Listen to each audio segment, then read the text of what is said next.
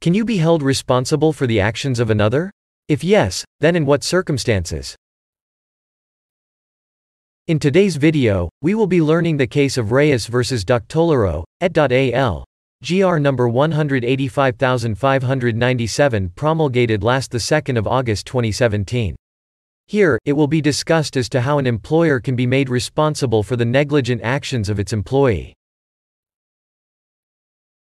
If you like to know, watch this short video discussion and subscribe for more useful information. Comment your legal questions and we will answer.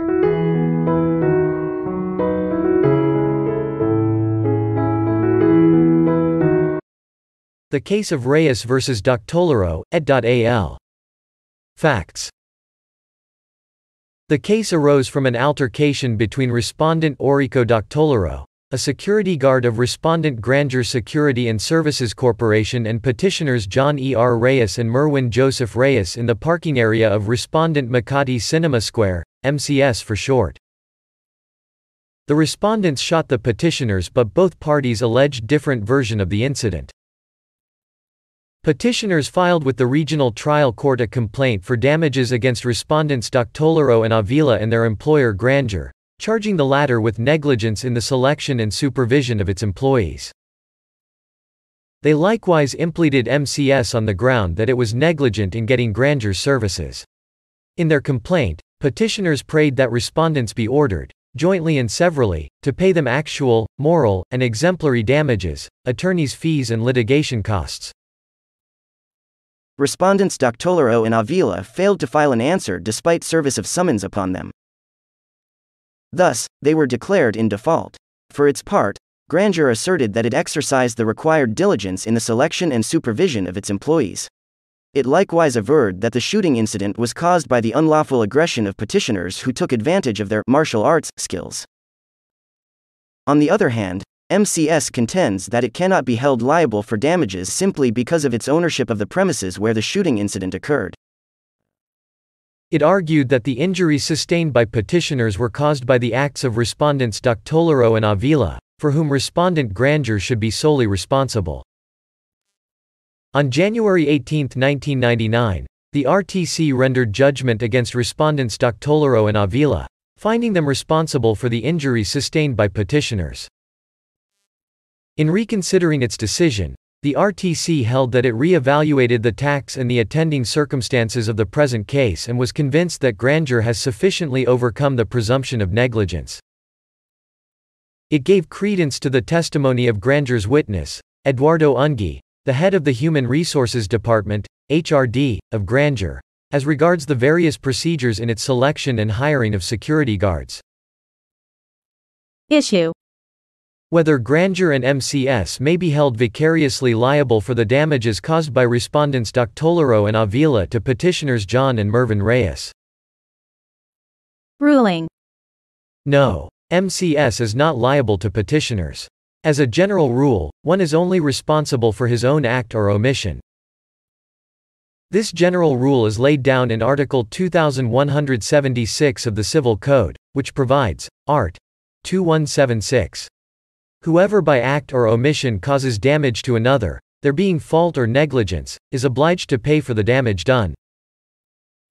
Such fault or negligence, if there is no pre-existing contractual relation between the parties, is called a quasi-delict and is governed by the provisions of this chapter. The law, however, provides for exceptions when it makes certain persons liable for the act or omission of another. One exception is an employer who is made vicariously liable for the tort committed by his employee under paragraph 5 of Article 2180. Here, although the employer is not the actual tortfeasor, the law makes him vicariously liable on the basis of the civil law principle of pater familias for failure to exercise due care and vigilance over the acts of one's subordinates to prevent damage to another. It must be stressed, however, that the above rule is applicable only if there is an employer-employee relationship. This employer-employee relationship cannot be presumed but must be sufficiently proven by the plaintiff. The plaintiff must also show that the employee was acting within the scope of his assigned task when the tort complained of was committed. It is only then that the defendant, as employer, may find it necessary to interpose the defense of due diligence in the selection and supervision of employees. In the absence of such relationship, vicarious liability under Article 2180 of the Civil Code cannot be applied. The court found no employer employee relationship between MCS and respondent guards. The guards were merely assigned by Grandeur to secure MCS premises pursuant to their contract of guard services. Thus, MCS cannot be held vicariously liable for damages caused by these guards' acts or omissions. Neither can it be said that a principal agency relationship existed between MCS and Grandeur. On the other hand, paragraph 5 of Article 2180 of the Civil Code may be applicable to Grandeur, it being undisputed that respondent guards were its employees. When the employee causes damage due to his own negligence while performing his own duties, there arises the juris tantum presumption that the employer is negligent, rebuttable only by proof of observance of the diligence of a good father of a family. The diligence of a good father, referred to in the last paragraph of Article 2180, means diligence in the selection and supervision of employees. To rebut the presumption of negligence, Grandeur must prove two things. First, that it had exercised due diligence in the selection of respondents Doctolero and Avila, and second, that after hiring Doctolero and Avila, Grandeur had exercised due diligence in supervising them. Here, both the RTC and the CA found that Grandeur was able to sufficiently prove, through testimonial and documentary evidence, that it had exercised the diligence of a good father of a family in the selection and hiring of its security guards. As testified to by its HRD head Ungi, and corroborated by documentary evidence including clearances from various government agencies, certificates, and favorable test results in medical and psychiatric examinations. The question of diligent supervision, however, depends on the circumstances of employment. Ordinarily, evidence demonstrating that the employer has exercised diligent supervision of its employee during the performance of the latter's assigned tasks would be enough to relieve him of the liability imposed by Article 2180 in relation to Article 2176 of the Civil Code. Considering all the evidence borne by the records, we find that Grandeur has sufficiently exercised the diligence of a good father of a family in the selection and supervision of its employees. Hence, having successfully overcome the legal presumption of negligence, it is relieved of liability from the negligent acts of its employees, respondents Doctolero and Avila.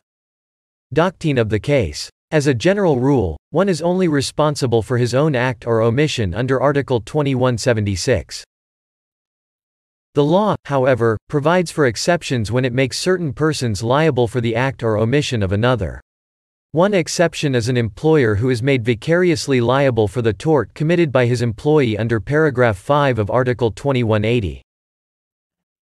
Here, although the employer is not the actual tortfeasor, the law makes him vicariously liable on the basis of the civil law principle of pater familias for failure to exercise due care and vigilance over the acts of one's subordinates to prevent damage to another.